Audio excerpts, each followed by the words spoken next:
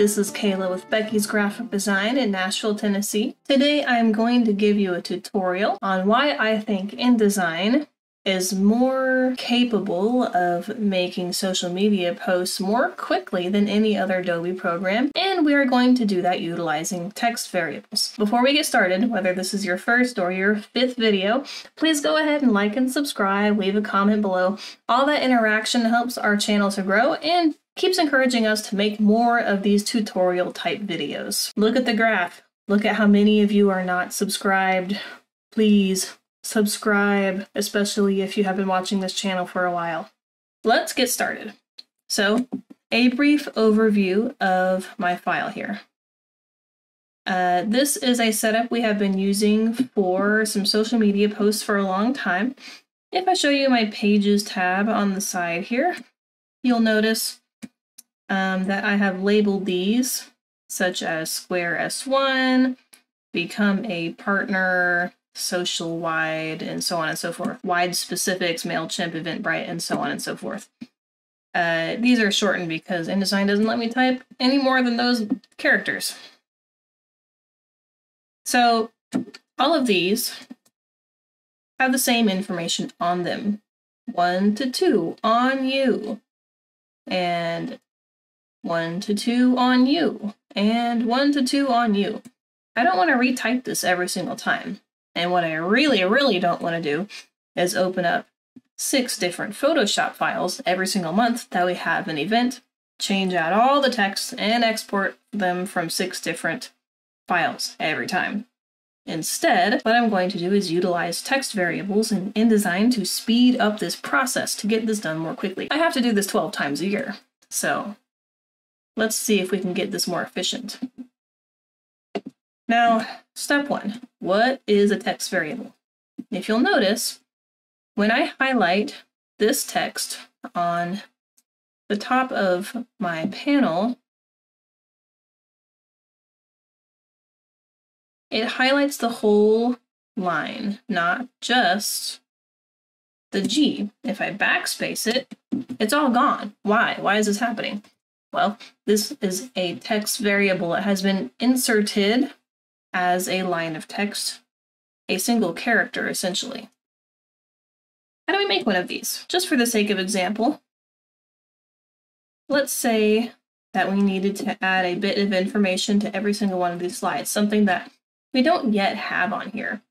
So let's make a label with our text box here let's say that we need to say um, snacks included in this event, which is not true. But for the sake of example, let's pretend that they are. Now, I don't want to copy and paste this text box every single time or retype them. Instead, we are going to make a text variable out of this line of text. So I'm going to copy the text that I have made and now let's go up to this menu. We're going to go up to type, and then we're going to go down to text variables and define. We need to go to new, and then we want to give this text variable a name so we know what it is. I'm going to call it snacks. And we want this to not be anything other than just some custom text. So we're going to give it that label. There are other things you can do with text variables, such as make a running header for a book. You can put a file name in here, page numbers, so on and so forth. But all we need for this is custom text. So that's what we're going to select. Now, let me paste in my text, snacks included. Let's click OK. Now I'm going to click Done, Nothing's happened so far. Just so you can see what's going on, this is my regular typed out text. I'm going to lower this text box down. I'm going to click enter. I'm on a new line. Now we're going to go up to type, and then we are going to go down to text variables, insert variable, and I'm going to look for my new label called snacks at the bottom. Now, this has been added as an entire character. As you can see, the whole thing's highlighted at once versus when I highlight this top one, all the individual characters are still alive. So why spend the time doing this? Well, let's say that next month, snacks are not included in the event. Well, I don't want to have to go through the whole document, highlight every single text box that says snacks included, and paste it all in. Instead, what we can do now is go up to our text variables. We'll go to type, text variables, define, and we are going to go down to the label snacks. We're going to edit it. And now we're going to say snacks not included. We're even going to put a little sad face in here just because. No snacks this month.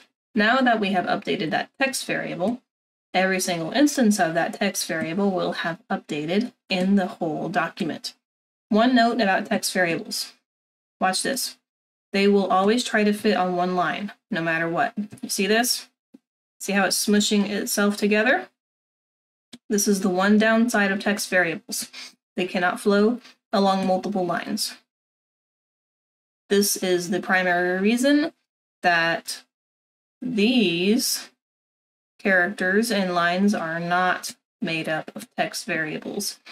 These we will use a find and replace. Now both of these methods will work to get the job done. I'm using a mixture both for the sake of the example of this video. So I'm going to go ahead and delete this text box. And now let's move on to method number two, the find and replace method. This method involves simply identifying some text that we want to change and then modifying it with the find replace. I'm going to do control F to open up the find change. So I'm going to simply copy this text, paste it into my find change. Make sure that you have document selected or not selection. Now, what do I want to change this text to? I'm going to change this to whatever my September meeting is. Let me go grab that out of this email. The main title is overcoming the imposter. I want this to be in the big bold text. So let's copy that over. And we're going to change this over like this. So let's make sure it's working before we commit all of the changes. Let's change this. Perfect. These lines happen to be about the same length, so they're going to work much more nicely. I think it's working well, so I'm going to go ahead and change all. Perfect. Now we got to change the subtitle. Now my subtitle is broken up into two different pieces here. I have with Bill Gannon, who's not the speaker for this month. Um, instead, this is going to be Chris Kelso, which I can find in my informational email here. So I'm going to change all instances of Bill Gannon to Chris Kelso. Copy this in and change all. Excellent. And now the subtitle, networking skills that get you remembered. And what is the subtitle, the new one? Silence your inner critic and lead with confidence. Change all. Perfect. I have some settings already pre-made in this document that balance the lines, kind of make things look good without having to do too much work. A couple more details that need to be changed. The date is incorrect. Now, April is a very common word throughout this whole document. You could use find and replace to change it, or you could use text variables to change it. I have these set up as text variables, so we're going to use this method. We'll note that this is indeed a text variable of April 26th. So I'm going to go up to my type, text variables, define, and this one is NAWBO date. I'm going to edit this one. And the new date is going to be September. I need to find out what the final Wednesday of the month in September is. 27th. Excellent. Now all of these have been updated. The time should remain the same. And then we also need to update this top line. We don't want it to say April meeting, we want it to say September meeting. So let's change the top line text. We're going to edit that. We're going to switch this text out to September. Okay, perfect. Done. And let's go through and make sure everything's looking good. Well, we're missing an instance of April here. We're gonna do text variables define, NAWBO month. We're missing month. Let's edit that. Make sure it says September. Very good.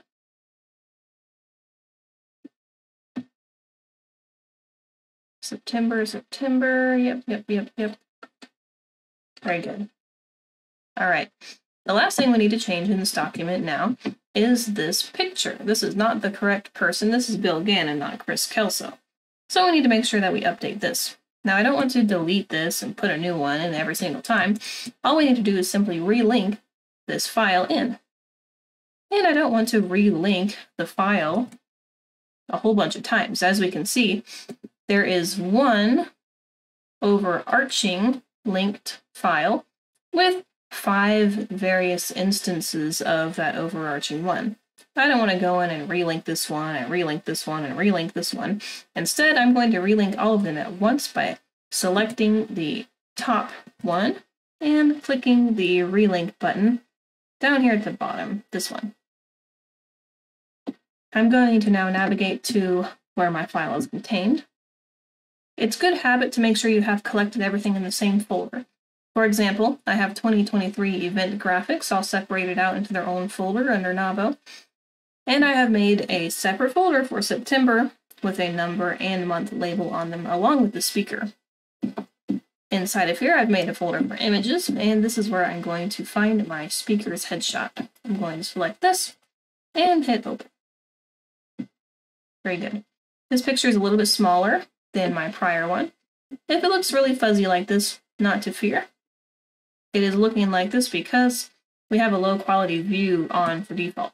If you want to change this, go up to View, Display Performance, and High Quality Display.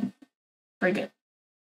Now I'm going to do a little bit of manual repositioning to these images because there was a different aspect ratio than the original one. You want, never want to squish your images, make sure that you are holding shift when you resize them so that they maintain the proper aspect ratio. Now this speaker didn't really give us a high resolution image. As you can see, this is pretty grainy and pixelated. Um, if this is too bad, you are going to need to request a better, higher quality image. Um, but this will probably work just for simple social media posts. So we're going to leave this as is. I'm going to scroll through here, make sure that these are all good. As you can see, I am adjusting the image inside of the frame. This red box is my frame, and inside of the red box is a blue frame. This blue frame is the image itself, and it can move around inside of the frame. But I don't want to move the frame, simply the image inside of the frame.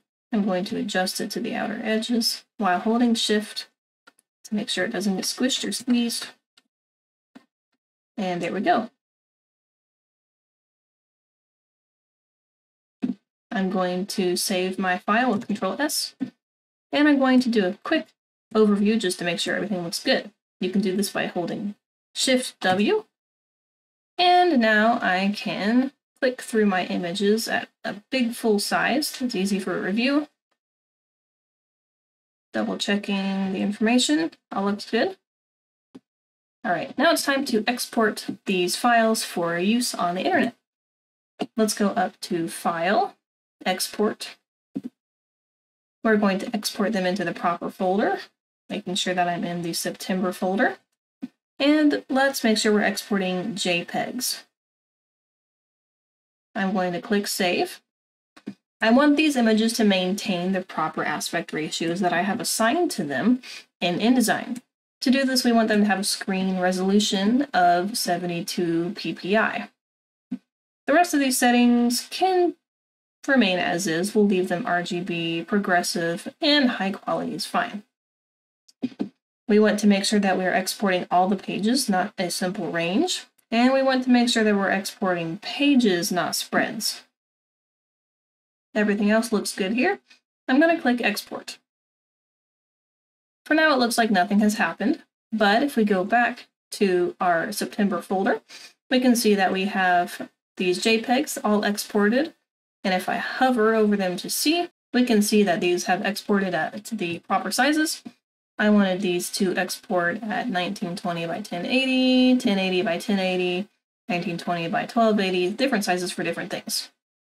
The last thing I do in this project is I go through and relabel uh, the end tags of these JPEGs so that everyone knows what they're for. I know, for example, that this file is become an event partner. So I'm simply going to get rid of this number two and change this to partner on the back. This one I know is our square social, so I'm going to label that as square. Number three, that one is our social wide.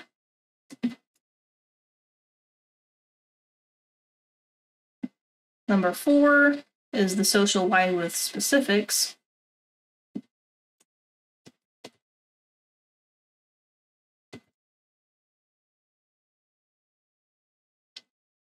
Number five is MailChimp.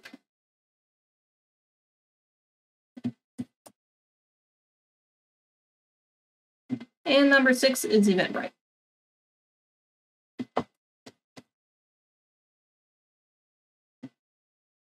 Very good. Okay, now these files are ready for sharing across the internet.